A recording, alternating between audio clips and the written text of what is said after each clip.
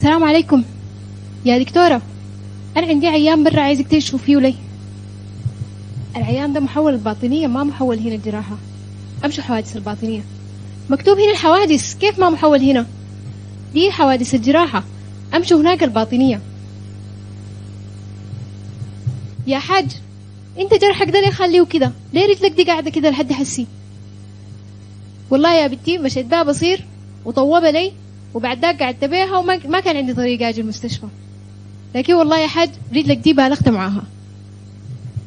يا دكتورة الفحوصات دي كتيرة شديد ما في طريقة تنقصها لي شوية. غالية ما بقدر أعملها. ما عندك تأمين أنت؟ ما عندي والله. الحاجات اللي بتحصل دي بتحصل ثلاثة أو أربع مرات في اليوم الواحد في المستشفى.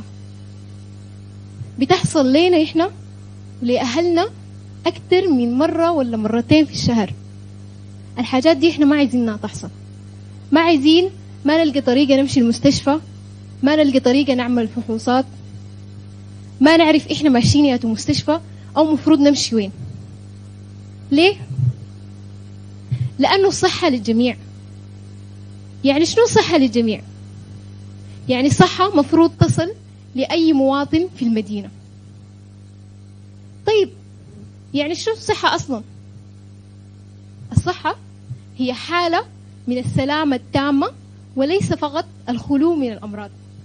السلامة جسديا ونفسيا. يعني أنت بتقول أنا ما عيان. أنا ما عيان. أنت ما عيان. دي ما معنى إنك أنت كويس. أنت ممكن تكون ما كويس. طيب إحنا عشان نصل للمفهوم ده مفهوم الصحة للجميع. محتاجين شنو؟ عندنا مثلث فيه ثلاثة أضلاع.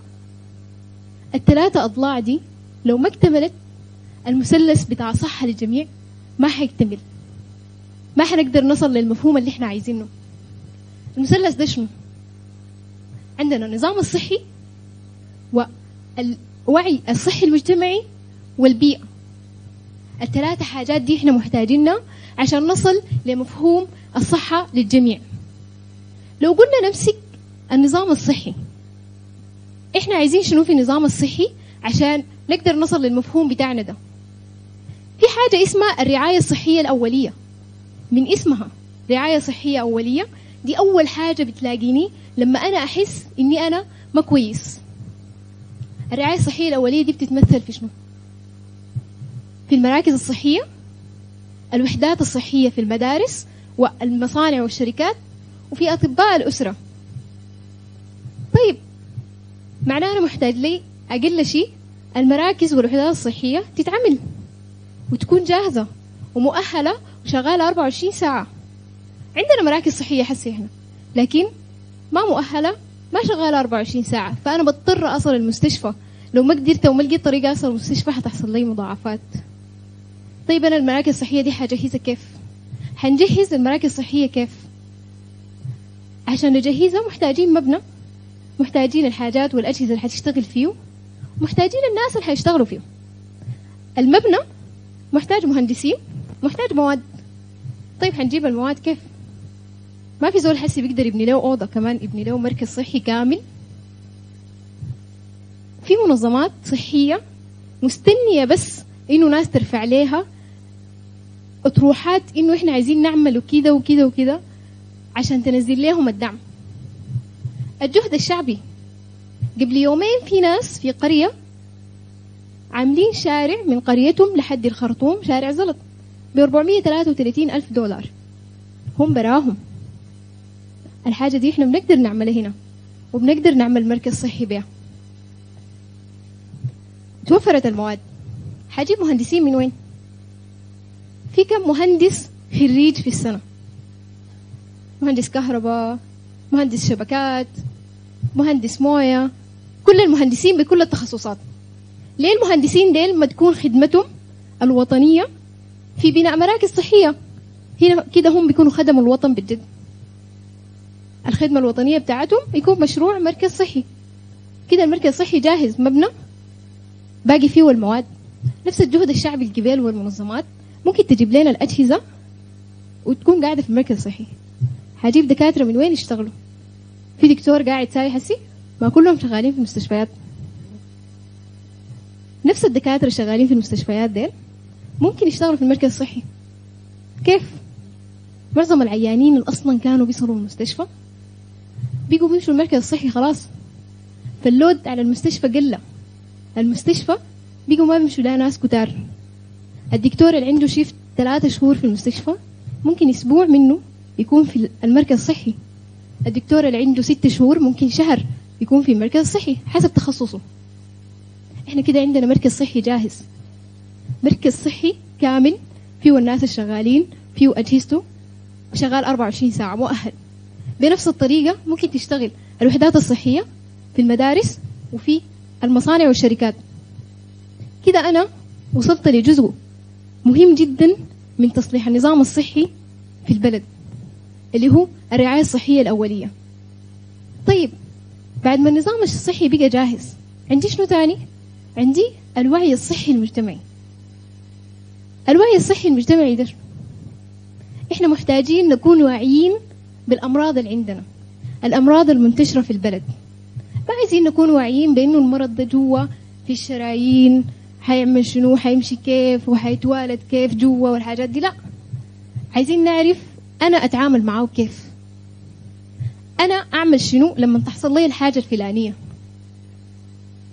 لو زول عندي في البيت أو أنا عنده ضغط أو عنده سكري عنده أزمة لو حصلت له حاجة أنا أكون عارف كيف أتعامل معه قبل ما يصل المستشفى أو يصل المركز الصحي. الحاجة دي وصل لها كيف؟ جوجل. التليفون اللي إحنا ماسكينه ده بنقدر نصل فيه مواقع بتوريك كل شيء عن مرضك. أنت كمريض ما كطبيب ما حاجات علمية ما حاجات scientific أنت كمريض كيف تتعامل مع مرضك ده؟ في المراكز الصحية الوحدات الصحية اللي قلناك بين برضه تكون حتكون في جزء من المهام بتاعتها إنها هي توصل وعي صحي كويس. طيب أنا كده وصلت لوعي كويس شديد. بعد ذاك أنا محتاج أطبقه. الحاجات اللي أنا اتعلمتها دي مفروض أطبقها. في حاجات كتيرة إحنا ما واعيين بيها أو بنعملها غلط بتخلي بتزيد لنا المضاعفات بتاعت الأمراض. يعني مثلا يا جماعة الثلاثة حبات ما علاج للنزلة. ما يزول عنده نزلة يمشي يجيب الثلاثة حبات. إنت حتحس إنك بقيت كويس. النزلة ما بتروح بالثلاثة حبات. الملاريا بيفحصوها. ما بتحس إنك أنت عندك ملاريا؟ بتمشي تجيب الحبوب حقتها. انت كده بتخلي جسمك مقاوم للحبوب عشان لو جاك المرض الحقيقي بتاع الحبوب دي ما حتقدر تتعالج. لما يكون عندك كسر ولا جرح ما بتمشي لبصير لأنه البصير غير إنه يخربه زيادة وتحتاج وتبقى مضاعفة وتحتاج لعملية أكتر ما حيعمل حاجة. محتاجين نبقى واعيين ونعرف نتصرف ونسأل قبل ما نعمل. بقى عندنا نظام صحي وبقينا واعيين. باقي لنا البيئة. لو إحنا بقى عندنا نظام صحي كويس وبقينا واعيين شديد بيئتنا ما تصلحت ما في فايدة. كأننا ما عملنا أي حاجة. بيئتنا حتصلح كيف؟ بيننا نحن ذاتنا. قدام بيتك. قدام بيتك ده اعتبره كأنه جزء من بيتك. كأنك أنت قاعد فيه. قدام دكانك. حاجاتك اللي بتطلعها من الدكان. لما؟ أنتوا في الحي. أقرب حداد. ممكن يعمل سلة بتاعت زبالة كبيرة. تكون هي المكان اللي ممكن يتلم فيه الزبالة. الوسخ والموية والحياة دي ما جات الزبالة دي ما جات من فوق. نحن ذاتنا طلعناها من البيت ونحن ذاتنا طلعناها من الدكان. يبقى إحنا السبب. يبقى ما في حاجة بتعالجها غيرنا إحنا أنا لو بقى عندي نظام صحي كويس واعي شديد الملاريا دي أول ما جاتني مشيت فحصتها ومشيت واعي كيف بعمل تعامل معاها وراحت. لو عندي بركة برا تاني الأسبوع الجاي بتجيني. يبقى أنا ما وصلت للمفهوم بتاع الصحة اللي أنا عايزه. طيب يا جماعة إحنا كده عرفنا الثلاثة أضلع بتاعت المثلث المهمة لأنه إحنا نصل لبرنامج الصحة للجميع. ممكن يكون ناقصنا شنو؟ أنا بعد وصلت زي زول الجبال كان داير يعمل علاجات ولقاها غاليه شديد. جماعة عالميا ما في حاجة اسمها علاج مجاني. مجانية العلاج دي ممكن تكون في أدوية الطوارئ. حاجة أدوية المنقذة للحياة. لكن عالميا ما في حاجة اسمها علاج مجاني. في health insurance أو تأمين صحي. التأمين الصحي بيخفف لك من العلاج من التكلفة بتاعته. لو ما بقت مجانا. فالناس تجتهد انها هي تطلع تأمين صحي. بنقدر نصل كده للموضوع بتاع الصحة بالإمكانيات بتاعتها وبالمقدرات بتاعت القروش اللي إحنا ممكن ما نقدر العلاجات والفحوصات اللي بتكون غالية.